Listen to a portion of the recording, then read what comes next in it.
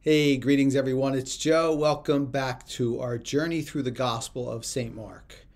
We are on a journey to a more joyous life, a more purpose filled life. And that takes usually a higher sense of commitment to those things that we believe in. So today we're going to talk, it was inevitable, but today is the day that we're going to talk a little bit about how our interaction and our connection to animals is. How strong is it? And how strong do we want it to be? Do we want an increased commitment in this area? So I'm going to ask you to quiet your minds and hearts as we prepare to hear today's gospel from St. Mark, of course, chapter 11, verses 15 to 19. Then they came to Jerusalem, and he entered the temple and began to drive out those who were selling and those who were buying in the temple and he overturned the tables of the money changers and the seats of those who sold doves, and he would not allow anyone to carry anything through the temple.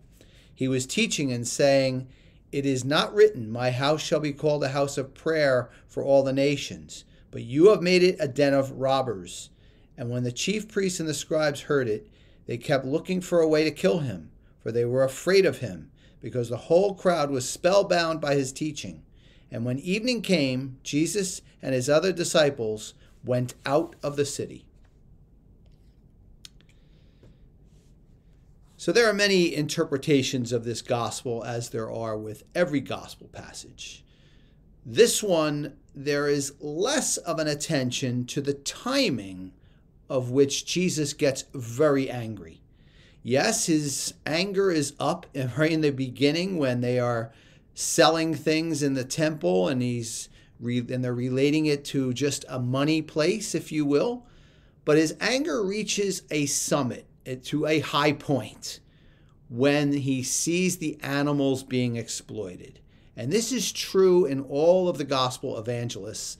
And when you read about the gospel of St Mark who is the one who followed Peter around it is clear that the timing is when the animals were being exploited. He turns over the tables and he gets at his height of his anger. Why? Of course, because Jesus' creation includes our animal friends and he does not want to see them treated in this way. Well, here we are 2,000 years later, and I'm afraid things are not much better. As a matter of fact, I think they probably are worse. Our animals are treated so badly in slaughterhouses, in shelters in some cases, in testing facilities, in rodeos, and the list goes on and on. And we can do something about it. We can do something about it by raising our level of commitment to these animals that we love. We need to follow the lead of Jesus, who showed his highest emotion when these creatures were being treated this way. They are defenseless. They are sentient beings who have feelings. They love. They can be loved. They can feel pain. And they need us to kind of step it up. Now, am I telling you that this is what you have to do? No, I am not. I think by now you know that in these reflections and in every thing that I do, I put information out there for your thought, for your consideration, and I ask you to, in fact, just consider it. And that's exactly what I'm doing here. So here is what I'm going to say to you any increase in commitment to something that we believe in takes advanced education on maybe that subject matter and informed decisions. So I haven't asked you to write anything down, but I'm going to ask you to write that down.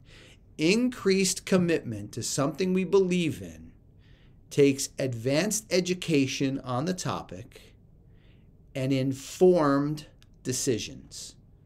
So, if we're going to say that we want to increase our commitment to helping animals around the world, we do need to educate ourselves a little bit on how they are treated, and then we need to make some informed decisions. Are we going to spend our money on things that exploit animals or harm animals, or can we take different paths of decisions in our life that do less of that or none of that altogether? As I said, you knew this was coming, this subject matter. I know you did because this is my passion. I'm putting this out there for you today because I believe that most of you, if not all of you who are listening to me, have some level of love for animals, or we wouldn't be connected to this point.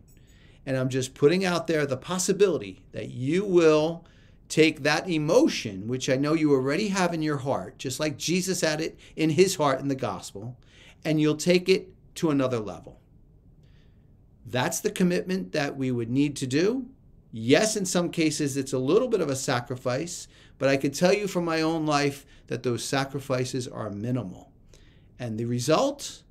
Yes, the increased commitment and the increased connection that now I have to these animals brings me more joy, more fulfillment, and more purpose. And hopefully, it will for you as well. My friends, that's my message from this Gospel of St. Mark. I hope it was helpful for you, as I always do. I always welcome your thoughts, your comments, your questions, especially on this topic. I'm more than willing to speak with you one to one, whatever the case may be. I thank you in advance for listening to me today and following as you always have. Please continue to follow me at my website, joedwyerjr.com. I wish you all a wonderful day, and I'll see you back here on the next video. Take care, everyone.